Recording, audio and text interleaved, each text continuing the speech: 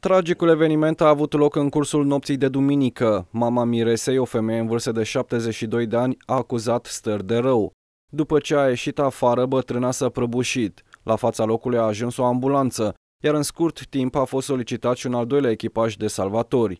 Zeci de minute a fost resuscitată femeia, iar manevrele au continuat și în drumul spre spital. Femeia a fost dusă pe secția de reanimare a Spitalului Județean Mavromati, dar, din păcate, nu s-a mai putut face nimic pentru ea.